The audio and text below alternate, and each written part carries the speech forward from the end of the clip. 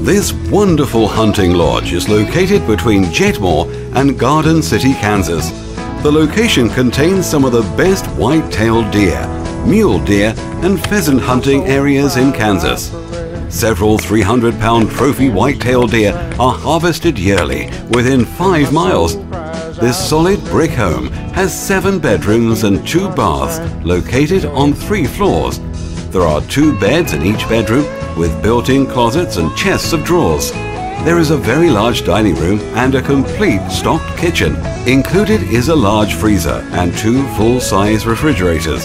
There is also a separate garage and game cleaning facility and satellite TV. This would also be a great property for family reunions and overflow. Contact Keith at email rkeithbackman at msn.com.